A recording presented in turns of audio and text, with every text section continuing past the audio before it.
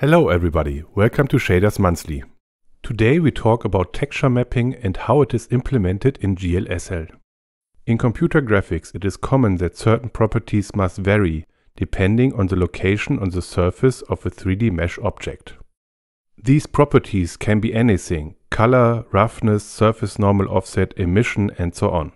For example, here you see the 3D mesh of a stone demon. If we change the color for each vertex, this is a possible solution, but the resolution is typically too low. But when we use a 2D texture, we can get a result that contains more details. The applied 2D texture is shown on the left here. A 2D texture is built from a 2D raster image, which is a 2D array of pixels of a certain width and height. Now we also apply a texture for the normal offset. And now another texture for the roughness and finally a texture for the emission, such that the eyes of this stone demon are emitting yellow light. Consequently, the basic idea of texture mapping is to change certain properties with a higher resolution than it would be possible per 3D vertex. To apply a 2D texture to a 3D mesh, we need to define a 2D texture coordinate for each 3D vertex. So each 3D vertex with coordinates x, y, z gets assigned a 2D vector of texture coordinates, which defines the position within the texture. The coordinates of the 2D vector are often denoted by u and v. Therefore, texture mapping is also called UV mapping. However, OpenGL uses a different naming convention and calls the coordinates s and t instead. The texture coordinates are independent of the resolution of the raster image. So no matter what is the width and the height of the raster image, the texture coordinates are always in the range from 0 to 1. The origin of the coordinate system of the texture coordinates is in the bottom left corner. u goes to the right and v goes into the up direction. Consequently, a texture coordinate of 0, 0 is the bottom left corner, 1, 0 at the bottom right corner, 0, 1 at the top left corner, and 1, 1 at the top right corner. Using the texture coordinates, the texture image is applied to the 3D mesh, like a room would be covered with wallpaper or a birthday present with wrapping paper. Now let's implement texture mapping in GLSL. This will also give us further insight on how the process of texture mapping works exactly. I will use the GSN Composer at gsn-lib.org as a shader editor here, but you can use any other shader editor as well. We are writing pure OpenGL GLSL code, which you can use everywhere. Links to examples that execute the same shader code using C++ or Java can be found in the video description. Our implementation starts from the first example from episode number 1, in which we have rendered a simple red triangle. Click Project and type in the project name Shaders Monthly 01 and click Open Existing. Then open the graph Red Triangle and press play in the time control panel. We select the shader node and click the Edit Code button. This dialog is the shader editor of the GSN Composer. In the top section we can define the vertex shader and in the bottom section the fragment shader. The current code is very simple. In the vertex shader, which is called in parallel for every vertex of the input mesh, we have the input vertex attribute position that is assigned to the output variable GL position. For each GL position output, the OpenGL pipeline performs 3D clipping, perspective division and viewport transformation as we have discussed in detail in episodes number 1 and 2. For every three vertices that are received, the OpenGL pipeline generates a triangle primitive in the image plane. Afterwards, the triangle is processed by the rasterizer, which computes which pixels in the output image are covered by the triangle. For each pixel, a fragment shader is executed in parallel. Its task is to assign a color to the corresponding fragment, which is achieved by setting the outColor variable to a 4 vector. The coordinates of this vector correspond to the red, green, blue and opacity value of the output pixel. For example, if we change out color to 0101, we get a green triangle. And for 0011, a blue triangle. Now we need to access the texture coordinates of the triangle. The texture coordinates change per vertex. Therefore, it is an in variable of the vertex shader. In vec2 text coord. The vertex shader should not do anything with the texture coordinates for the moment. We just pass them through. Out vec2 interpolated text coord. And in the main function we type interpolated text coord equals text coord. And in the fragment shader we define in vec2 interpolated text coord. Because our input mesh has three vertices, the main function in the vertex shader is called three times for the current setup. We get three vertex positions from the GL position output and three texture coordinates from the interpolated text coord output. The pipeline takes the three vertices and generates a triangle, which is passed to the rasterizer. The rasterizer generates interpolated values for each out variable. In our case, this means we get interpolated texture coordinates in the fragment shader, which explains why we have given the variable this name. We can visualize the interpolated texture coordinates by putting them in the red and green channel of the output color. Out color equals vec4 interpolated text coord .s, interpolated text coord .t, 0, 1.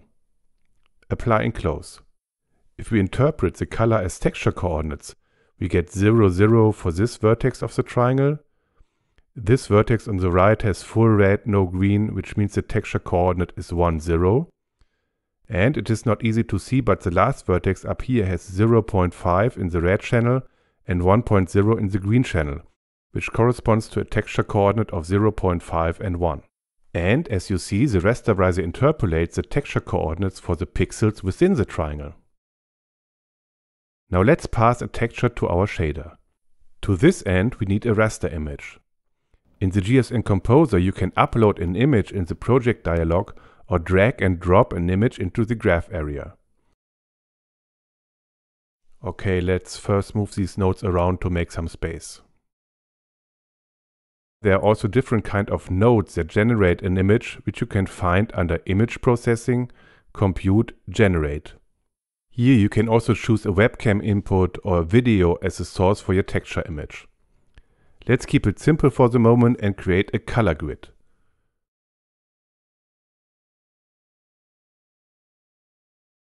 We set its type to labels. We open the shader editor again. In the fragment shader we add uniform sampler2d myTexture. This is a uniform variable of type sampler2d that represents a 2D texture. Remember that the uniform variable is a constant during a rendering call, which means that the variable refers to the same texture for all output pixels. We can now get a color value from the texture with the built-in GLSL texture function vec4 text color equals texture. The first parameter now is a sampler2d, which is my texture. And the second parameter is the texture coordinate as a vec2 interpolated text coord. Out color equals text color. Apply code and close. We see that the GSN Composer has created a new slot called My Texture, and when we connect the color grid data node with this slot, we get a texture triangle. Perfect. Let's change the texture coordinate of the input mesh. We create the node 3D, compute, mesh, text coord edit. We connect the mesh with the mesh slot and the texture with the texture slot. Then we connect the output mesh with the input of our shader.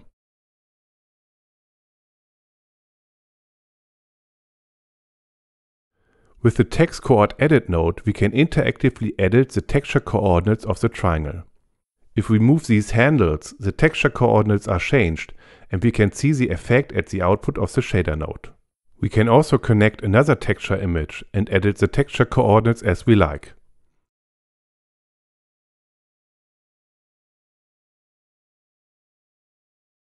Now in our shader we can do whatever we want with the texture information. For example, if interpolated text larger than 0.5, text color.r equals 1.0. if the s coordinate of the interpolated text coord is larger than 0.5, we set the red channel to 1.0.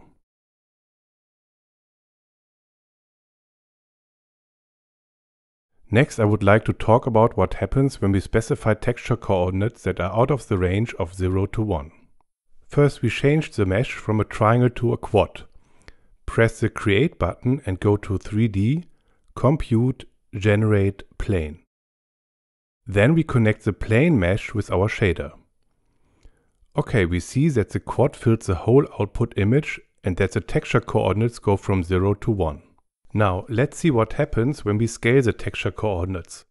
For example, we can scale them by a factor of 3.0 and subtract 1.0.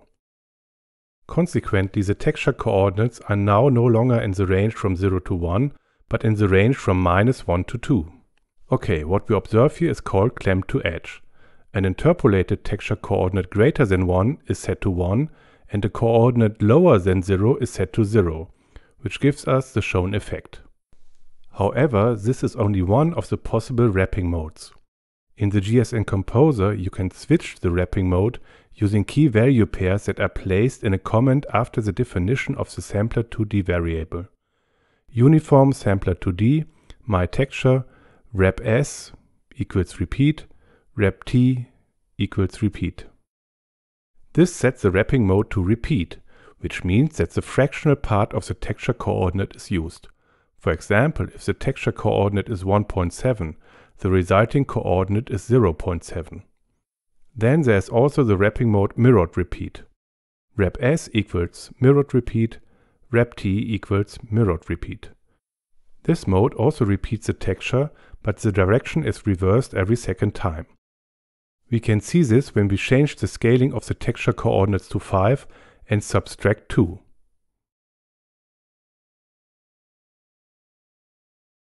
Okay, great. As a last exercise, let's try to reproduce the cube example from the beginning. We open the project Shaders Monthly 03 from episode number 3. In this example, we use the model view matrix to apply a transformation to the mesh. We replace the torus knot mesh with a cube. 3D, compute, generate, cube. We open the shader editor and extend the code in a similar way as before. In vec2 text out vec2 interpolated text interpolated text coord equals text coord. And in the fragment shader, in vec2 interpolated text coord, uniform sampler 2D my texture, vec4 text color equals texture my texture interpolated text coord, out color equals text color. Then we generate a color grid node and connect it to the my texture slot of the shader.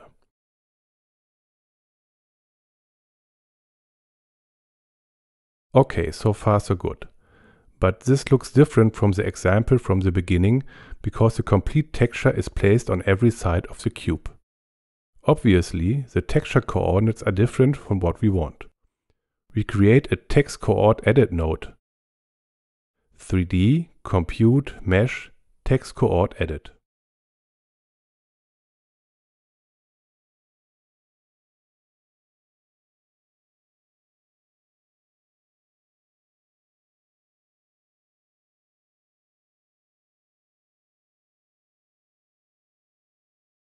We added the texture coordinate such that they match the example from the beginning. This is the top side,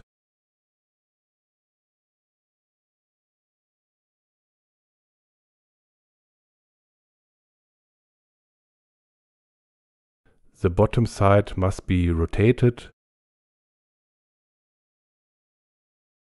This is the front.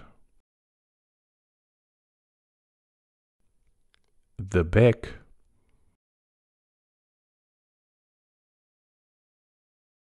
The right side, and finally the left side. Okay, great, this looks very similar. Now we also had the stone demon example from the beginning where we used several textures for different properties of the shading model. If you have watched episode number 4 about Blinn-Phong shading, this is now easy to achieve. Open the project Stone Demon and select the graph Stone Demon Phong.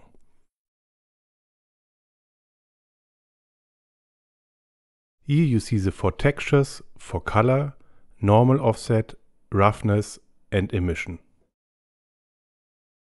We open the shader editor and look on how the textures are used. Here you see the definition of the corresponding four sampler2D variables outside of the main function.